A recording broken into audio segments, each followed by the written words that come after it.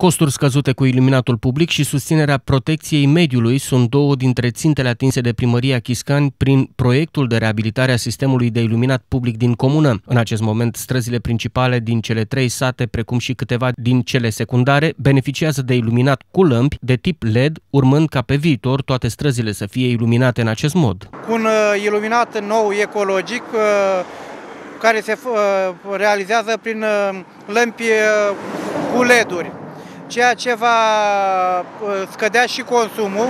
Este vorba de la același uh, număr de lămpi, este vorba de reducere la jumătate a consumului de energie electrică. Uh, acest proiect este în valoare de aproape 100.000 de euro, ceea ce cuprinde toate cele trei sate componente ale comunei Chiscani. Este vorba de lacul Sărat, localitatea Chiscani și localitatea Vărsătura.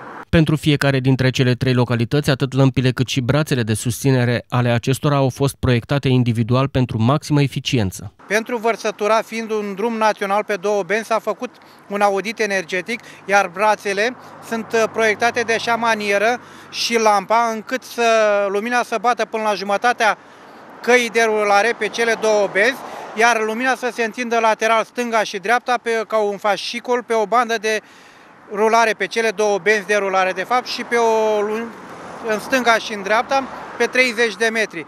Lămpile vechi vor fi instalate pe străzile din cele trei localități care până acum nu aveau niciun fel de iluminat, urmând ca într-o etapă ulterioară și acestea să fie înlocuite cu lămpi de tip LED.